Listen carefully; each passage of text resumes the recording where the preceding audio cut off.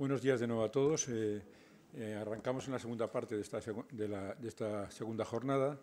con, eh, volvemos a tener en la mesa, y por lo tanto no lo vuelvo a presentar, a Agustín Cerrillo y Martínez, que junto a otros dos profesores reconocidos de, las universidades españolas realizó hace muy poquito tiempo un libro en que analizó las diferentes maneras en que se han configurado los órganos garantes de la transparencia en, en nuestro país y obtuvieron pues alguna serie de conclusiones y alguna serie de propuestas que bueno aunque eh, que son aunque se escapan bueno un poco del contenido de las jornadas por ser un poco endogámicas de los propios consejos creo que era ante lo que es el colectivo diríamos eh, transparentista canario que usted representado aquí por ustedes por gente inquieta y que trabaja en la transparencia creo que sería bueno que conocieran sobre todo en la medida en que estamos a las puertas posiblemente de una segunda revisión en los años eh, futuros de las leyes de transparencia, empezando por la estatal y, y quizá alguna autonómica, y pueden que se, eh, se, aproveche también para ajustar el modelo de los órganos de garantía a lo que puede ser digamos, un modelo más, más homogéneo quizá o, más eh, o más independiente, o más eficaz, o más económico, en cualquier caso mejor ¿no? en, en, en, las futuras regulaciones. Entonces, eh, les eh, comunico que después de, que él nos adelante las conclusiones de esta obra, eh, inmediatamente después eh, en, todos los eh, presidentes o representantes de los consejos de transparencia de, de, del país que están ahora aquí en la sala subirán un momentito, aunque sea cinco minutos, para dar su opinión sobre, sobre estas cuestiones y pasaremos a la siguiente ponencia. Eh, con, les dejo con Agustín. Muy bien. Hola de nuevo y gracias por seguir aquí, ¿eh? porque ya saben, ya me han visto una primera vez y mantenerse pues ya tiene su, su mérito. Bien, eh, como les comentaba y han visto en el programa, a continuación voy a, exponer algunos de los resultados que hemos obtenido en un, proyecto de investigación financiado por la Fundación Democracia y Gobierno Local en el marco del convenio que tiene firmado con diferentes autoridades de transparencia españolas, en el que se nos eh, pidió que llevásemos a cabo un análisis sobre la configuración de las autoridades de transparencia en España y también una valoración sobre sus funciones y su, sobre su funcionamiento en estos primeros años eh, de vida.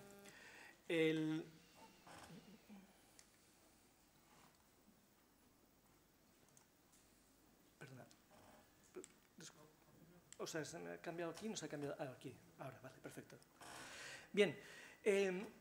las reflexiones que compartiré con, con vosotros durante los próximos eh, minutos están recogidas en, en, extenso y de manera justificada y detallada en el libro publicado eh, por la Fundación, eh, que tienen, cuya portada tenéis en la, transparencia y que, como es un libro que ha salido este año 2019,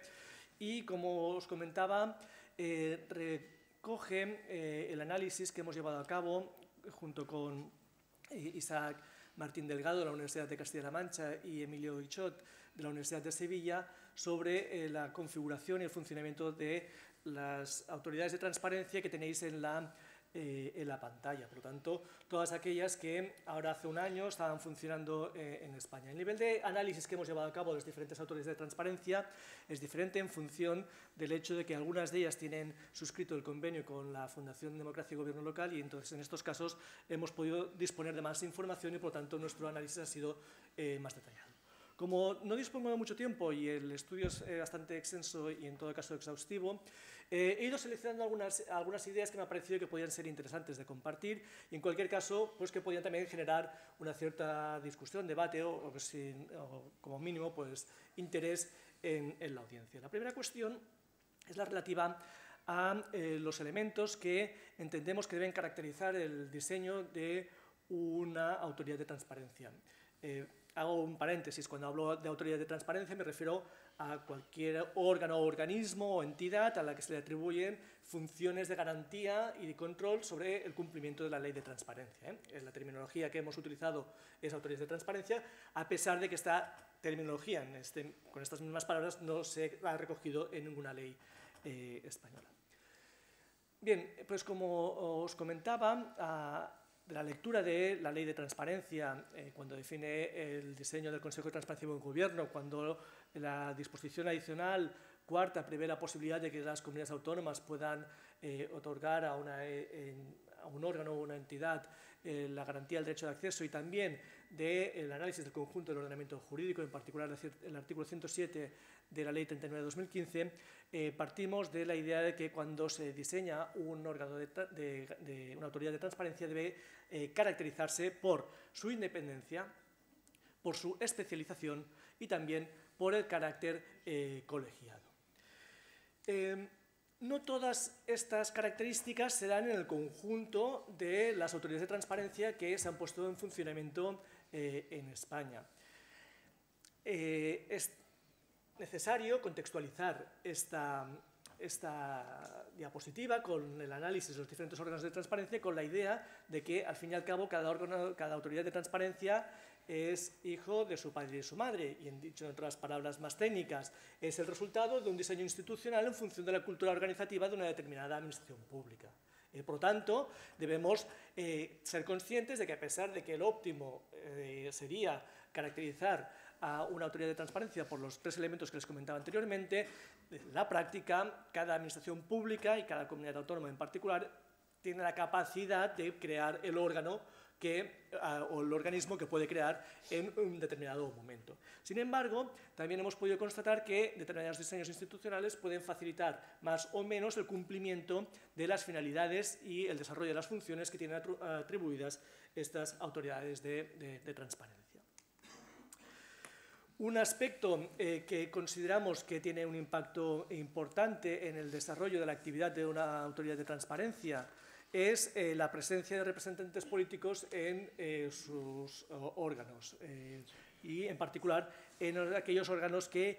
participan en la resolución de las reclamaciones en materia de acceso a la información pública. Y como pueden observar, según el estudio que hemos llevado a cabo, pues existen algunas autoridades de transparencia que cuentan en sus órganos de decisión en materia de reclamaciones sobre acceso a información con la participación de eh, cargos políticos o directivos de la administración pública designadas, eh, designados eh, políticamente y en cambio otras autoridades de transparencia, la mayoría, no cuentan con este perfil más político o de designación política, sino que tienen un perfil, una composición de un mayor eh, carácter eh, técnico. A nuestro entender, eh, el hecho, hay determinadas circunstancias que se aprecian en el diseño de algunas autoridades de transparencia que pueden viciar, que pueden dificultar la eficacia y la efectividad de las autoridades de, de, transparencia. Por ejemplo, el hecho de que los miembros de una autoridad de transparencia no tengan dedicación exclusiva o que no tengan una composición cualificada, es decir, que no se, no se exigen unos determinados méritos de expertise para formar parte de, de, una autoridad de transparencia, el hecho de que la autoridad no cuente con los medios suficientes, son algunos de los elementos, en la transparencia pueden observar otros y en el estudio están detallados, que pueden dificultar que una autoridad de transparencia pueda conseguir las finalidades que se eh, prevén a la hora de, eh, diseñar y de adoptar su diseño en una determinada norma. Por ello, para evitar estos eh, perjuicios y estos riesgos que puedan afectar a la eh, eficacia y efectividad de una determinada autoridad de transparencia, hemos hecho diferentes propuestas. Eh, no las detallaré, simplemente pues las mencionaré, que hay algunas de ellas que están más vinculadas con la posición de independencia, por ejemplo, el hecho de contar con un presupuesto propio y específico puede facilitar el cumplimiento de esta independencia del órgano,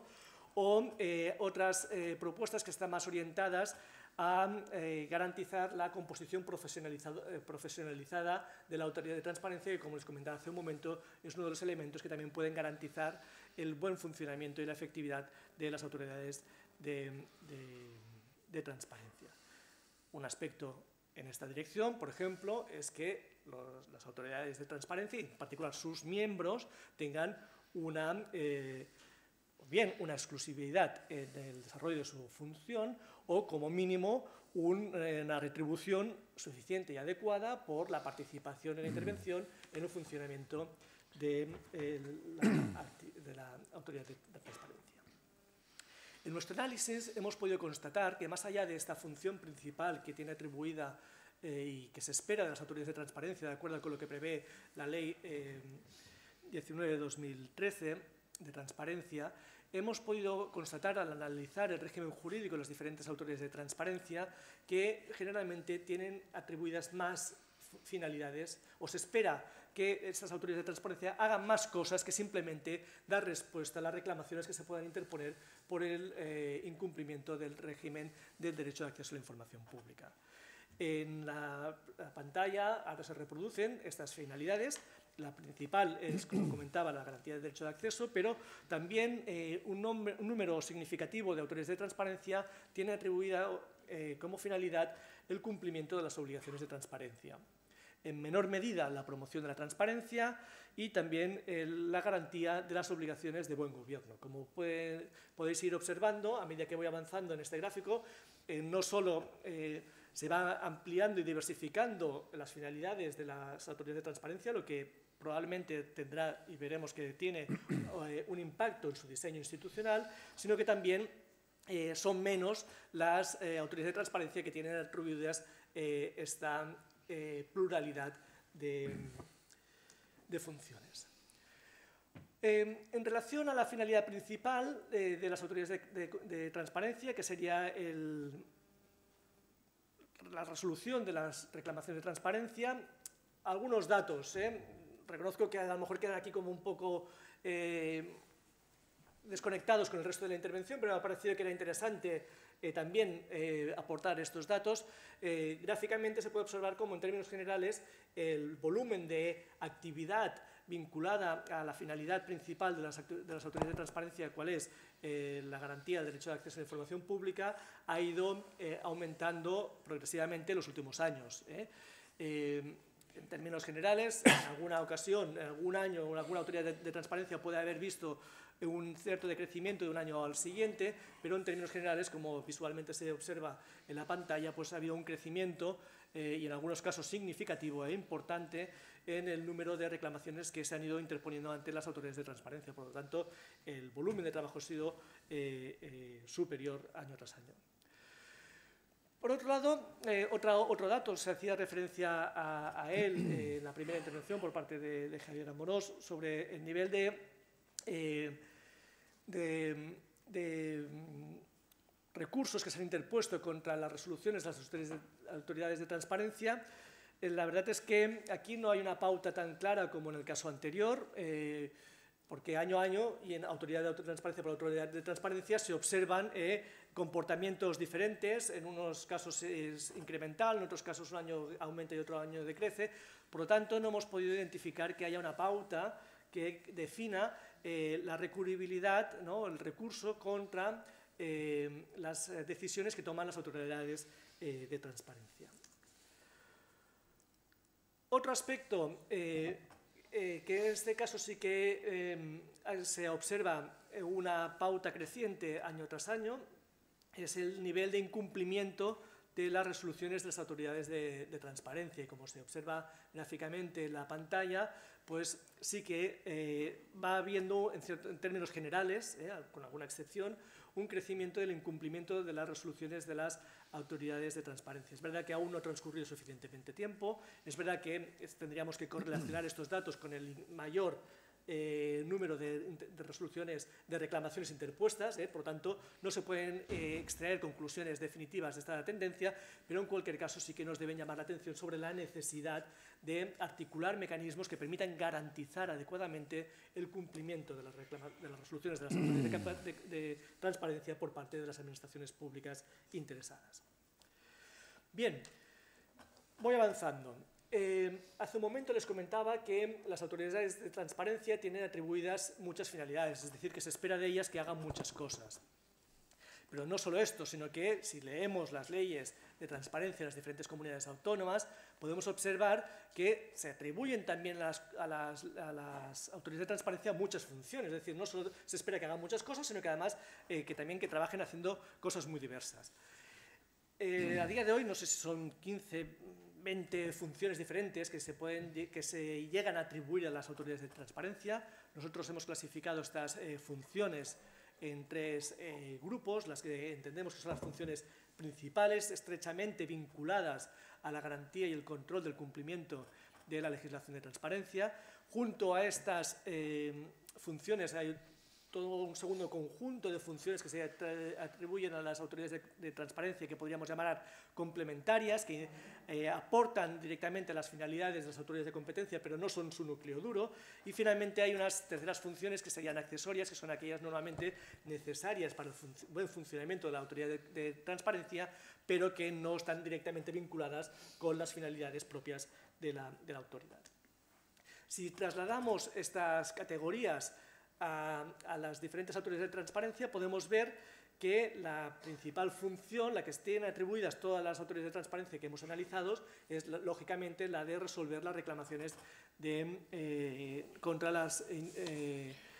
contra las resoluciones denegatorias del derecho de acceso a la información pública. Pero también hay un número muy importante de autoridades de, de transparencia a las que se les atribuyen funciones relacionadas con la garantía y el control del cumplimiento del de régimen jurídico de la difusión proactiva de la información, de la transparencia proactiva. ¿eh? y esta es una tendencia bastante generalizada. ¿eh? Si antes hablábamos del total, aquí estaríamos hablando de eh, prácticamente tres cuartas partes de las autoridades de transparencia que también tienen atribuidas estas funciones. Hay otras funciones que en el extremo opuesto llaman la atención que sean atribuidas a algunas autoridades de competencia. Y en particularmente querría llamar la atención sobre aquellas funciones relacionadas con la garantía del cumplimiento de las obligaciones sobre el buen gobierno, que son muy pocas las autoridades de transparencia que la tienen atribuida. También otra ah, función, que es la del eh, el control del cumplimiento de la normativa sobre grupos de interés, eh, que también resulta eh, curioso que se atribuya esta función a una autoridad de transparencia. Nuevamente, debo insistir aquí en una reflexión que hacía al inicio de mi intervención, de que debemos tener en cuenta que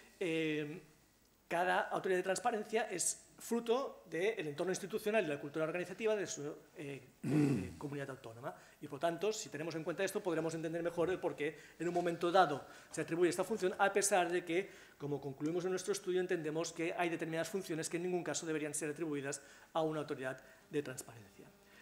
Eh, aquí tenemos los mismos datos, datos, pero puestos de una manera diferente, y podemos ver en relación a cada una de las autoridades de transparencia cuántas funciones se le atribuyen.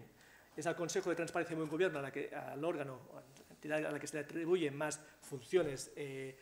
eh, y en cambio otros eh, órganos como la Comisión de las Islas Baleares o el órgano de garantía del País Vasco, que únicamente se le atribuye la función de controlar, de dar respuesta a las reclamaciones en materia de acceso a la información. Bien, ¿cómo consideramos que, cómo pensamos que se podría fortalecer eh, eh, las autoridades de transparencia como resultado de esta reflexión que hemos ido haciendo y que, cuyos resultados he presentado de manera muy breve y rápida en los minutos precedentes? Bien, la primera cuestión es que eh, consideramos que es necesario articular mecanismos para garantizar el cumplimiento de las resoluciones que adopten las autoridades de transparencia. Por otro lado, pensamos que es necesario delimitar claramente lo que es el control del cumplimiento de la ley de transparencia, de lo que es la evaluación sobre eh, la aplicación y el cumplimiento de la misma ley. Eh, hemos identificado que es habitual que en las leyes de transparencia y en el funcionamiento de las autoridades de transparencia existe una cierta confusión entre el control y la evaluación. Hemos también observado que no es habitual que las autoridades de transparencia adopten guías o directrices que ayuden al cumplimiento, tanto por parte de la propia Administración, eh, de la propia Autoridad de Transparencia como de la Administración Pública, eh, la ley. Y también hemos identificado que, a pesar del número y del volumen de funciones de transparencia que tienen atribuidas las autoridades, cuando les hemos preguntado si querrían asumir más funciones, en general la respuesta ha sido eh, que sí, con las matizaciones que haré eh, a continuación. También hemos observado que en el cumplimiento de la ley existen determinadas deficiencias que eh, nos llevan a, considerar que probablemente sería oportuno fortalecer e incrementar las funciones de las autoridades de transparencia. Por ejemplo, hemos observado que hay un bajo nivel de conocimiento de la ley, se ha comentado en una ponencia anterior aquí, que hay un bajo cumplimiento de las obligaciones de transparencia, que eh, tampoco se conoce exactamente cómo está funcionando la aplicación de, la ley, no se conoce en detalle. Si bien se está ya llevando a cabo una evaluación del cumplimiento y la aplicación de la ley, aún falta eh, por conocer mejor cómo se está aplicando y cómo se está cumpliendo la ley. y que además eh, también se detecta que eh, la falta de consecuencias por el incumplimiento de la ley, a pesar de lo que prevén las leyes, eh, por ejemplo, cuando algunas de ellas prevén un régimen sancionador, también está condicionando el cumplimiento de las propias normas. Por lo tanto, y en este punto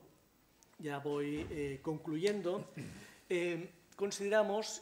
en el marco del proyecto y del estudio que ahora les, os estoy presentando, que hay algunas funciones que necesariamente deberían tener todas las autoridades de transparencia, que son las del control de las obligaciones de transparencia activa, las de eh, resolución de las controversias en materia de reutilización de la, de la información pública, también la evaluación del cumplimiento de las obligaciones en materia de transparencia, Deberían también asumir la función de facilitar el cumplimiento de la ley a través de la adopción de recomendaciones, directrices, guías, etc. Y finalmente también deberían asumir la función de fomentar el cumplimiento de la ley entre las administraciones eh, públicas, a través de la difusión, el asesoramiento, etc. Junto a estas funciones pensábamos que también sería, podría ser útil eh, extender al conjunto de las autoridades de transparencia la experiencia que se focaliza a día de hoy únicamente en una autoridad de, transparencia, la catalana, cuál es la de eh, mediar en la resolución de los conflictos que puedan darse en el cumplimiento de la ley entre las administraciones públicas y la ciudadanía. Entendemos que eh, el diseño institucional, que la configuración legal de las autoridades de transparencia, más allá de darles una expertise eh, técnica, también le da una autoritas que le ponen un buen eh, punto para poder desarrollar esta función y, por lo tanto, poder extender este mecanismo de resolución alternativa a los conflictos a los conflictos en materia de transparencia. En cambio, en el marco de, este estudio, hemos llegado a la conclusión que probablemente no sería oportuno atribuir a las autoridades de transparencia eh, potestad sancionadora ante el incumplimiento de lo que prevén las leyes de transparencia. En cualquier caso, no veríamos oportuno eh, que se atribuyese esta potestad sancionadora en general respecto al incumplimiento, porque entendemos que esto podría desvirtuar su posición institucional y además también podía eventualmente llegar a incidir en la autonomía de las administraciones públicas de los entes locales. Si bien podríamos pensar de que en un momento dado, como mecanismo para garantizar el cumplimiento de las resoluciones de la Autoridad de Transparencia, específicamente en relación a esta cuestión, sí que se le pudiese atribuir esta, eh, esta potestad sancionadora, pero circunscrita a este supuesto eh, específico. En términos generales, estas reflexiones eh, son compartidas con aquellas autoridades de transparencia con las que hemos tenido oportunidad de hablar de estas cuestiones. Como les avanzaba hace un momento, en general nos trasladan la oportunidad de ampliar el catálogo de funciones atribuidas para poder cumplir mejor las finalidades que tienen atribuidas,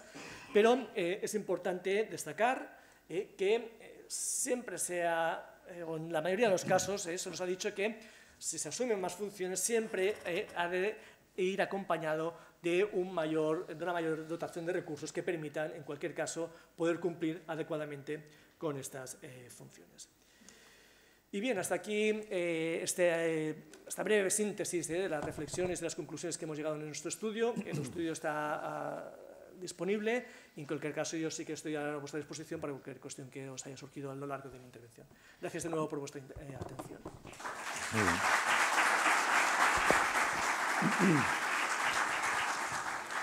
Muy bien.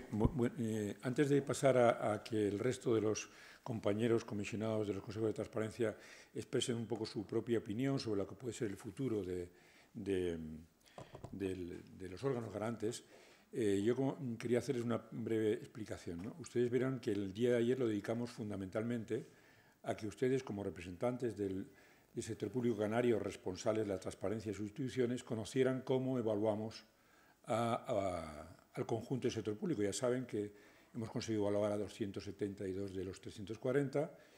y, pero nos parecía interesante que hoy que mm, venían tan eh, cualificados eh, representantes del resto de las comunidades eh, autonómicas, incorporar a Agustí porque era una especie como el, evaluador de los evaluadores. Es decir, nos venía a recordarnos, y sobre todo delante de ustedes, a aquellas funciones, cómo estamos cumpliendo los que en teoría y estamos llamados a controlarles al conjunto de las administraciones públicas, aunque eso supusiera en, en, algunas eh, circunstancias, algunos temas, eh, un cierto nivel de crítica y, por lo tanto, de autocrítica a nosotros. ¿no? Entonces, desde ese punto de vista, yo, antes de pasar a, como eh, a ustedes, evidentemente les preocupará fundamentalmente cómo estamos nosotros en Canarias respecto a las cuestiones que él ha planteado, pues sí, brevemente me gustaría darles un flash, porque este tipo de cuestiones no siempre se conocen. Nos fijamos en el número de reclamaciones, incumplimiento de publicidad activa, etcétera, pero en lo que es la vida interna de nuestra, de nuestra propia organización, pues no siempre se conocen. ¿no? Él ha hablado de la, ha empezado, mm, por, voy a tratar de ser telegráfico, eh, de la entidad, si, tenemos eh, eh, entidad jurídica propia o no. Nosotros no lo tenemos, como la mayor parte de los, de los, consejos, pero también es cierto que somos un órgano no dependiente, sino un órgano del Parlamento de Canarias, estamos aquí, no, no, estamos invitados en esta casa, estamos en nuestra casa, y por lo tanto no dependemos ni de ayuntamientos, ni de cabildos, ni del gobierno, es decir, tenemos un poco la, el amparo parlamentario. En ese sentido, pues creo que evidentemente eso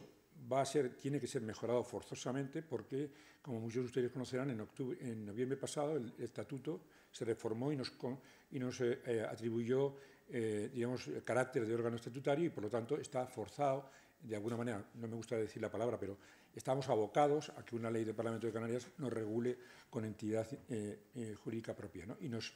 eh, mantenga vinculados al Parlamento, como el resto de, como yo llamo, nuestros hermanos mayores, la Audiencia de Cuentas, el Consejo Consultivo, el Diputado del Común, pero digamos, no necesariamente debajo de su techo. Aunque a mí no me importaría, porque creo que cualquiera de los cuatro órganos somos de alguna manera apoyatura a la labor fiscalizadora del Parlamento. Respecto al tema colegiado, eh, yo soy, como algún otro muy, escaso, que digamos, es unipersonal, aunque hay consejos, consejos que se llaman consejos, pero en realidad la decisión, fundamentalmente los dos fundamentales, es del presidente en cuanto a reclamaciones se refiere, el Consejo Estatal o el Consejo Andaluz, donde prácticamente resuelve el presidente. En cualquier caso, ustedes habrán podido comprobar que, con independencia de eso, aquí funcionamos bastante colegiadamente. Yo, como digo, eh, yo tengo un consejo eh, interno en la casa, que son mis dos jefes de servicio, y también la gente que trabaja conmigo permanentemente. En cuanto a la cualificación, ese es un tema donde quizá más me puedo hacer autocrítica, porque efectivamente soy el único eh, directivo o, presidente o órgano garante que no soy licenciado en Derecho. Entonces, generalmente, yo admito que evidentemente soy en ese sentido menos cualificado de todos ellos, pero es que generalmente se tiene la sensación de que, como, de que los órganos garantes lo que resuelven es fundamentalmente, y ustedes habrán visto que hay otras funciones, como es el control de las páginas, eh, eh, la publicación de, las noticias, diríamos, de la información del gobierno, opciones en las que, para las que sirven no solamente gente licenciada en, ciencias de la comunicación, donde estudiamos derecho de la información, aunque no necesidad de los letrados, pero sí eh, hay otras funciones en los consejos que, que también tienen y que por lo tanto pueden desarrollar, a mi entender, juristas como licenciados en ciencia de la información, como archivistas, como archiveros, perdón, o como eh, informáticos, ¿no? que, sobre todo en la medida en que la realización de, la transparencia toma eh, cuerpo en, en, este país. ¿no? En cuanto a la dedicación, es una dedicación, por suerte, tenemos posibilidad frente a los que no tienen dedicación y, tienen, y son de alguna manera grandes voluntarios de la transparencia, como luego veremos a, Juan Luis Beltrán, que es alguien que sin dedicación exclusiva eh, deja lo mejor de sí mismo, en, o como eh, Jesús Colas, que han visto antes, que tampoco puede tener eh, dedicación exclusiva a, este desempeño. Y en cuanto a los datos de reclamación, evidentemente mm, nosotros estamos una, quizá porque Hemos dado mucha publicidad a, la, asistencia del propio órgano, tenemos una, página web, constantemente estamos hablando de lo que produce. Yo lo entiendo que es así, no, eh, tenemos un alto nivel en función de, nuestra población, como veíamos ayer. Eh, y en cuanto a las funciones, creo que estamos desarrollando no todas las seis, es decir, habrán visto que tenemos aparentemente menos funciones que los demás, y es cierto, pero las seis funciones a las que se ha referido Agustí, pero tenemos las esenciales, ¿no? que es eh, reclamaciones, el control de la publicidad activa, eh, la resolución de quejas, la resolución de denuncias, el fomento y la difusión de, la transparencia. Es cierto que no todas las podemos hacer en la misma, eh, de la misma manera, porque por condiciones presupuestarias, por condiciones de, de, personal que ustedes conocen. La plantilla es de, en este momento, de cinco miembros, más más habrán visto, por otra parte, que nuestros becarios son fundamentales en, el funcionamiento del órgano y sin ellos el órgano estaría a la mitad de la potencia que tiene, se lo digo con, total sinceridad. Y, bueno, eso es lo que quería de alguna forma dar cuenta o responder al examen que de alguna manera este estudio, que lo tienen eh, fácilmente accesible y que creo que es interesante de cara al futuro, eh, quería que ya que les examinamos y ayer ustedes recibieron buenas, medianas y mejores notas, alguien, diríamos, eh, se conociera diríamos, el tipo de examen que eh, se ha realizado desde el mundo académico a los, a los consejos. En cualquier caso, para que todos tengan oportunidad de comentar o de ver, de expresar su opinión, aunque sea sintéticamente, porque no tengo mucho tiempo, yo, yo lamento que todo esto tenga que ser tan comprimido, les invitaría a que suban un momentito a a la mesa y expresen su opinión sobre estas conclusiones del estudio o sobre lo que ellos entiendan que debe ser el futuro, la reforma, eh, la, la futura configuración de los órganos garantes en España.